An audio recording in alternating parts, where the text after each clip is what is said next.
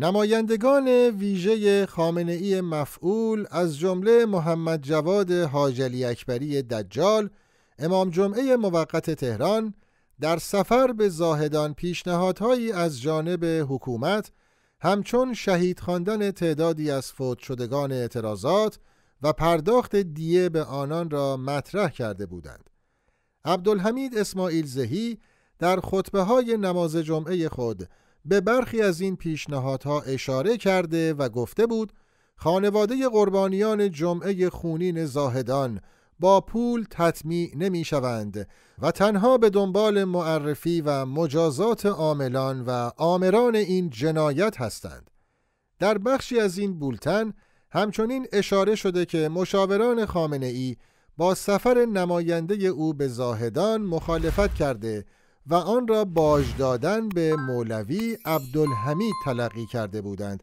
اما خامنه ای برخلاف نظر این مشاوران نمایندگان خود را به زاهدان فرستاده است.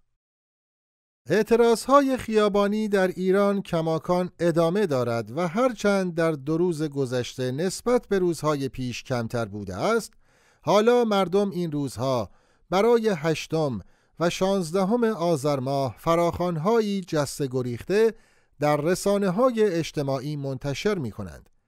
در محله شهرارا در تهران معترضان به خیابان آمدند و با سردادن شعار مهابات کردستان الگوی کل ایران همراهی خود را با خیزش سراسری مردم ایران نشان دادند. معترضان در تهران پارس محله‌ای در شرق تهران نیز با برگزاری تجمع اعتراضی شعار مرگ بر دیکتاتور و مرگ بر خامنه ای سر دادند. در بلوار فردوس، شهرک غرب و ستارخان تهران هم تجمعهای اعتراضی شکل گرفت. در این تجمعها نیروهای دجال لباس شخصی و بسیج پس از دقایقی به معترضان حمله ور شدند و آنها را مورد اصابت مستقیم قرار دادند و تلاش کردند مانع برگزاری تجمع شوند. قلعه حسن خان، یزد، رامسر و رشت نیز صحنه اعتراضهای پراکنده بود.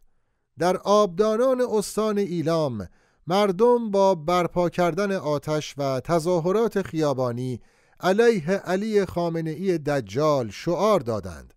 در پیران شهر که طی هفته گذشته حملات شدید نیروهای دجال امنیتی و مقاومت مردم را شاهد بود. سرکوبگران به اذیت و آزار مردم و تفتیش خانه به خانه متوسل شدند و بر اساس ویدئوهای منتشر شده در رسانه های اجتماعی نیروهای دجال امنیتی در این شهر به خانه مردم حمله ور شده و برای ایجاد رعب و وحشت وسایل آنها را به هم ریخته و شکستند. پیش از این نیز مشابه این اتفاق در شهر مهاباد رخ داده بود. گویا این اقدام که شبیه اقدام نیروهای اشغالگر در جنگ هاست به رویه تازه نیروهای سرکوبگر جمهوری فاسد اسلامی تبدیل شده است. جلال محمود زاده نماینده مهاباد در مجلس شورای میمونها روز ششم آذر در مورد حمله مأموران امنیتی به منازل مسکونی گفت مردم مهاباد معترضند که چرا باید به خانه مردم ساختمانها و مغازه های مردم شلیک شود و خسارت ایجاد کنند. کانون حقوق بشر ایران از فوت شدن ماهک هاشمی یک نوجوان شانزده ساله زیر ضربات باتوم در شیراز خبر داد. این کانون به نقل از یک شاهد عینی نوشت که یک طرف سر ماهک ضربه خورده و نصف صورت او کاملا کبود بوده است. ماموران حکومت بابت تحویل پیکر او از خانوادهش مبلغ زیادی طلب کردند و ماهک هاشمی سوم آذر فوت شده و ششم آذر در جوی امنیتی در زادگاهش کنگان شیراز به خاک سپرده شد. مراسم سوم و هفتم او نیز ششم آذر برگزار شد. بر اساس این گزارش خانواده ماهک هاشمی به شدت تحت فشار امنیتی و تهدیدند. به گزارش یک سازمان حقوق بشری یک نوجوان شانزده ساله دیگر نیز در شهر موچش کردستان مورد اصابت مستقیم قرار گرفت و جان خود را از دست داد.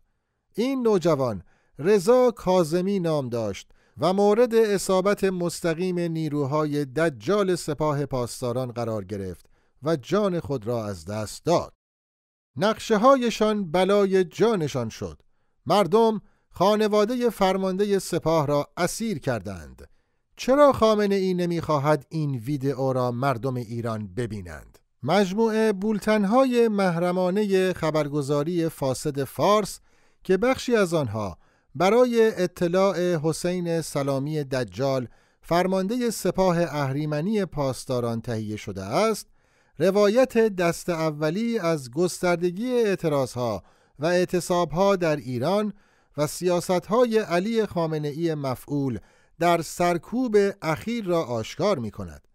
خط ویژه یا بولتن خبری خبرگزاری فاسد فارس سالهاست که یکی از منابع خبری بیت علی خامنه ای مفعول و بسیاری از نهادهای نظامی و اطلاعاتی و امنیتی جمهوری فاسد اسلامی محسوب می شود. مدیریت این بخش در خبرگزاری فارس را عباس علی درویش توانگر فاسد یکی از قدیمی ترین مدیران خبرگزاری فارس و برادر بزرگتر مشتبا توانگر نماینده کنونی مجلس میمونها بر عهده دارد. پس از آنکه یک گروه هکری خبرگزاری فارس را هک کرد، بخشی از این بولتنهای محرمانه نیز به دست هکرها افتاد و آنها به تازگی بخشهایی از این بولتن را منتشر کردند. در حال حاضر مهمترین محورهای این بولتنها مربوط به اخبار، گزارشها و ارزیابیها از خیزش سراسری مردم ایران و تصمیمها و اقدامهایی است که خامنه ای دجال برای سرکوب آنها اتخاذ و به نهادهای تحت امر خود ابلاغ کرده است.